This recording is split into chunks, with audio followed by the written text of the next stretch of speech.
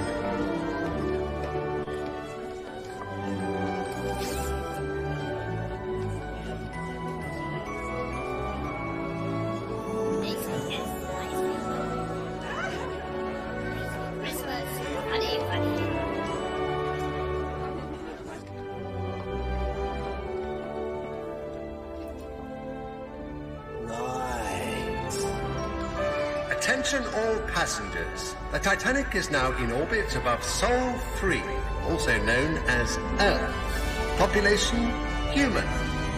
Ladies and gentlemen, welcome to Christmas.